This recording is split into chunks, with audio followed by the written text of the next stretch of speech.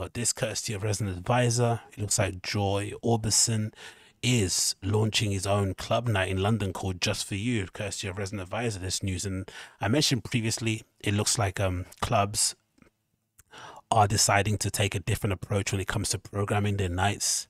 Um, they are deciding to book a lot of home-based DJs and acts because obviously they've been backed into a corner because of the pandemic.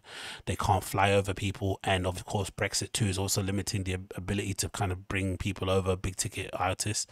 And there's obviously been a little bit more of a push to reintroduce the whole resident DJ um, approach to clubs where essentially you have a whole bevy or roster of DJs that play at your club week in, week out, and then you sprinkle in some um, some big names. And again, you know, you think of places like Berghain, they have a really long list of residents who they play with, who play with it all the time, and then they include the the odd guest here and there in the line to kind of mix up and keep it fresh. But the core of their club is basically um, the core of the foundation or yeah of their roster is mostly residents who play most days in the week whenever they're open, and it kind of allows the customers to get you know used to what sounds I expected in a club it allows the dj and artist to grow and kind of gain an, uh, an understanding how to play to a crowd. Um, it cultivates a scene. It inspires maybe people that are coming in who might want to dj themselves to maybe do it.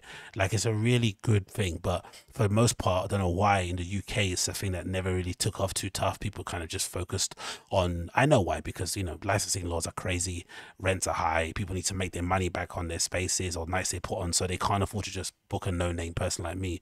They should they'd rather go and book like a flipping big person like a Marco Carola, a Richie Hawtin. Back in the day, right, all these people, but Ricardo Villalobos, because they know they're gonna put bums in seats, quote unquote. Like yeah, um, whatever maybe.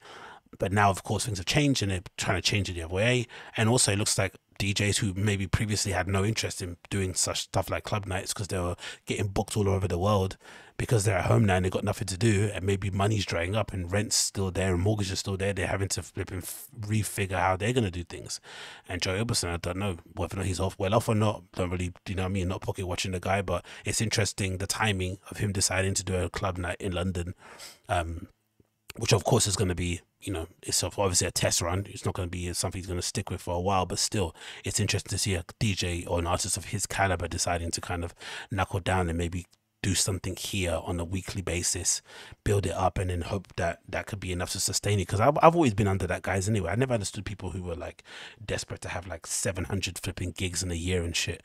I would much rather have the ability again for me, my dream would be to be able to play in places like Robert Johnson, Blitz in Munich, uh, obviously Berghain, obviously maybe Roses, um, weird maybe sets in like you know eight millimeter bar, obviously in Berlin too that I really like. Um, Fold obviously here in London, maybe Fabric places and Corsica too, like a few of the established places, right? But just have maybe, let's say, well, let's how many gigs in a year? Let's say maybe like ten gigs in a ten gigs per month, right? Just something cash, something cash. So you go to these places, you maybe have a couple of residencies, a couple of guest spots, but that's it. Um, it keeps you fresh. It doesn't burn you out. You can start digging for music because you don't taking flights every single single day and connecting flights here and there. It, it allows you to obviously build a repertoire of tunes that you can play in different places that go down differently. Because I think of it like um, what's his face? I've got his name, who passed away. I think he had a similar approach where he basically had a way of playing in certain places that booked him often. That he kind of he kind of tailor his sets based on where he was playing, and I think that's really a lot to be said for that. Because you know, I think the industry, for, for as much as these DJs can be blamed for, you know, being a little bit uninspired and phoning it in. You also have to blame the industry that kind of pushes them to play these crazy gigs all around the world, back to back to back to back, with no break in between you know, crazy hedonistic lifestyle, and then you're complaining that their, you know, creative output isn't as great. Yeah, of course it's not because they're not being creative. They're just being machines and being paid to cue and port, cue and play, cue and play. But anyway, Jobson launches his own club night just for you debut edition kicks off on next week on January 20th. I'm going to be there. It says, um, Just for You will happen monthly at the Below Stone Nest, a bar that's part of the West End performing art space Stone Nest, which I've never heard, to be honest, before. Um, the first event is set for Thursday. Interesting day. So he's clearly going for the, because I remember back in the day, especially where when Plastic People used to be uh, alive, right? The, there's a great bar in um a great club on Curtain Road in Shoreditch, right? One of the best ones. Like such a shame it's disappeared, but or such a shame it closed. I think it actually is on the site where Goodwood is now. Really great club. And back in that back in those days, even back in old school Soho days, there was a thing about midweek raving, sometimes even Sunday raving. And some people would say actually the time the pros and the time the OGs, the ones that actually knew what one, they would actually rave on the Thursday instead of the Friday, Saturday. That's when all the bait heads and then all the normies came out. So it's nice to see him kind of tipping his hat to that old school thing.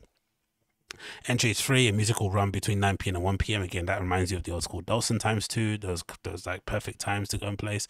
Um, lineups won't be revealed ahead of time, meaning attendees will only discover who's playing once they enter the venue. Jobson explained this in an Instagram post. So his Instagram post as follows. I like the little beer coaster thing. Is that beer coaster? I'm assuming, right? I'm definitely gonna nick one. Um, it says the following: Just for you at Below Stone Nest. I've wanted to have my own party in London for years now. When I growing up, club felt like more like a supportive of new music and producers. So now seems like an important time for more spaces like that to exist. Just for you will be a monthly club night downstairs in a beautiful building called Stone Nest London on Shaftesbury Avenue, with the emphasis being on forward-thinking music with a mixture of new established names. The lamps will stay secret until you get down the venue. Then once inside, there'll be a unique artwork designed by Emma Toma with all the info. Wow, I love that. We will begin next Thursday from 9 p.m. to 1. Entry is free. Hopefully see you there. Yeah, definitely I'm there. Definitely I'm there. It's like every week. I said, hold on, what is it every week? There, just for you. Shaftesbury Avenue. I think is is it every week or just once? Is it a monthly? I think it might be monthly, right? My own party years now. Yeah. Putting on your own rave, man. I'm I'm glad I'm out of the promotion circuit. To be honest, it's actually harder to be a. Hmm, should I say that out loud? Yeah, it's. I think it's harder to be a DJ than it is to be a promoter. Obviously, with a promoter, obviously most of it has to do with your lineup, especially in London. If you got a sick lineup, people are gonna come. But sometimes it's no guarantee either because I've put on raves before where, you know, five of my friends showed up only, and that was it. Like, and it's brutal in the ego because you still have to pay the DJs that come. Some DJs don't want to play and just want to give you the money and leave. So you you got that thing and you just thinking in your head, oh my god, I fucked up. Fucked up. But trying to make it as a DJ on your own, especially if you don't produce, it's brutal. It's brutal. Especially if you have no contacts, it's brutal on my end. Um, so you're just kind of there in the lurch. But the promoting thing is, I don't know. I think in terms of a blow to your ego, when people don't come to a party you put on, it's one thing sending out mixes and trying to get venues to book you and then getting completely ghosted or being left on seen. That's brutal to the ego. That's gonna hurt. But putting an event on, especially in this, sometimes putting an event on in a space that's usually busy and your night isn't busy. So it's clearly people saying, we don't want to come to your party because we don't know who you are or it looks shit or whatever it may be.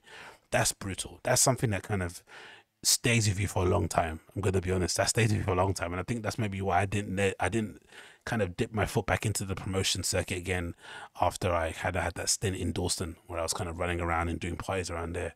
I kind of from then I just kind of backed away and said, I'm a DJ, I'm a DJ, I'm a DJ.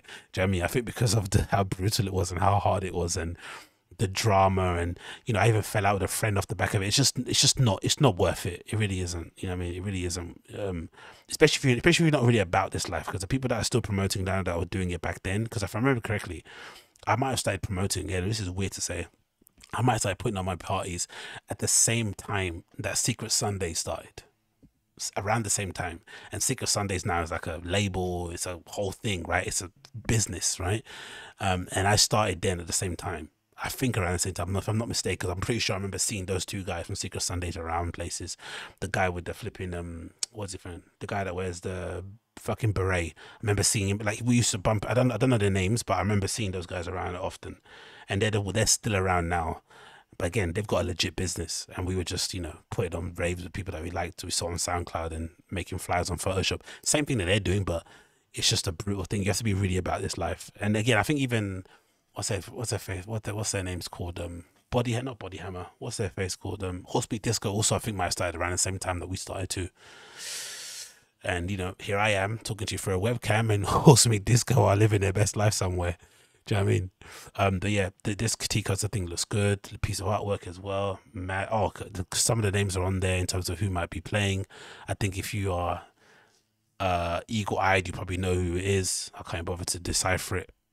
Um, this place though, I've never heard of it. This new club, it looks great, and it? it's like a nice rustic looking basement bar. The sound's gonna be fucking awesome. I've never really heard of this place, man. It looks great, isn't Obviously, bitch. Let me see if I can get this up without breaking my computer. Um, actually, what's actually the actual place is called Below Stone Nest, right? Um, let's get it up on there on, on, on RA and let's get it up on Instagram and see what it looks like because I'm really curious to see what this venue thing looks like because we need we need more of these kind of basement y vibe places. You know what I mean in London where you can go and just you can go and just it's sort of like similar to like what's that place called I haven't been to again? The one I want to go to um that cancelled the party that I went to go to. The glove that fits right? That's another venue too that it's just decent. It's got decent sound system. The lineup's pretty sick from what I've seen. No the sound system I've heard is quite sick because I haven't been there but the lineup is always decent and you can just trust it to go there on the weekend and it's going to be a vibe. And we need more of these kind of places in london because at the moment even as great as fold and all these places are they they are mostly ticketed events where you have to kind of book a ticket ahead of time. You have to do a lot you not have to do a lot but you kind of have to make sure you plan your night out. Like you do you want to go there? Do you want to go to corsica? Do you want to go to um what's the place called? An angel? No an angel. What's the place called in bethnal green whatever you you know you know, you know I'm talking about pickle factory all these kind of places. You have to kind of really decide if you want to go to these places whereas these kind of just pop in zones are usually quite good too. Oh look how good this looks. Oh my god this looks amazing. A bar in look at this. Below stone nest a bar in soho 136 shaftesbury avenue opened from wednesday to saturday only. Walking oh my god this looks so cool. Yeah i want to go. I want to go man that looks. Um, it's already been open for a while. Okay, since November, I guess soft open, and now they're gonna really boom it, or really, really gonna push things out. Oh, is that that R and B guy? That is right. That's performing there. I forgot his name. Let me just check that quickly in a moment. Let me just see here. This looks really. Oh, this looks amazing. I love this. That is that R and B guy, right? Let me see if I can say that. I'm pretty sure that's that singer. I think he does R and B. I'm not if I'm not mistaken. That's it. Yeah, Must, yeah, Mustafa the poet. I'm sure that is right. He does bro. That's amazing. Oh my god, how cool is that? Look at this place. Any place that you go to, you know, I'm a sucker for flipping exposed walls and a board with some chalk or some markers on it. Honestly, like you got me. I mean, I'm one of those guys. I'm one of those flipping guys. Like you, you have some exposed brickwork and speakers hanging from the flipping ceilings by chains, right? And guys around with you know bar backs holding buckets of like bottles and stuff and moving around and really cool looking bartenders with like, tattoos and shit and cute girls wearing tight jeans. You got me. You got me. You know I mean, you got me. I'm tipping big. I'm tipping big, yo. oh my god, this looks so cool. Um, yeah, this looks really, really cool. I'm not going to lie. This looks so, so, so cool. I'm ready. I'm really ready. Um, have they got any other events on here? Was it? Let me see. Stone London. What is it? Is it Stone Nest East or Stone London East? What they say? New club. What they say here? They said Stone London East. They said below Stone Nest. So that's the place, right? Below Stone Nest. Beautiful building called Stone Nest London. What is Stone Nest London? Is that like a building where it's hosted? And I'm assuming, right? And then let's see what RA is saying for the rest of the lineups and listings on the actual place. But yeah, this looks really cool. Um, again, forgive me for wanking over such a minor thing, but honestly, we're so bereft of these kind of cool little places that you can go and hang out in London that when you do find one, you kind of have to hold it with both of your hands. Do you know I mean? You can't let that crap go, man. You can't let it go. Okay, let's see if I can get this event listing up on here. I want to check out if they've got other things happening in that same space. See if it makes any sense to go to another event there. But yeah. Okay, um, Stone Nest London is an art organisation and performance space in a running, sorry, in a stunning former Welsh capital, Welsh chapel on Shaftesbury Avenue in the heart of London. Okay, cool. They're gonna have different type of events on there. It looks like, and then I guess downstairs will be the club bar place that they're gonna do things in. So there's gonna be some big things on the horizon for this placement. I think if they're able, if we're able to stay open as a country, they could possibly put on some interesting things on there. Uh, but yeah, I'm a I'm a fan of the approach. I like the approach. I'm not going to lie. not announcing a lineup, um, having people just have to go there to kind of experience it. Um, I like that whole thing. I like the you know the random pieces of artwork that you get when you're there. I'm for it. I'm not gonna lie, I'm for it. So yeah, if you're for it, check it out. Thursday, 20th of Jan, 2022, Shaftesbury Avenue. It's gonna be a vibe. It might be a vibe. Um, will be good to see some people down there if you do end up going there.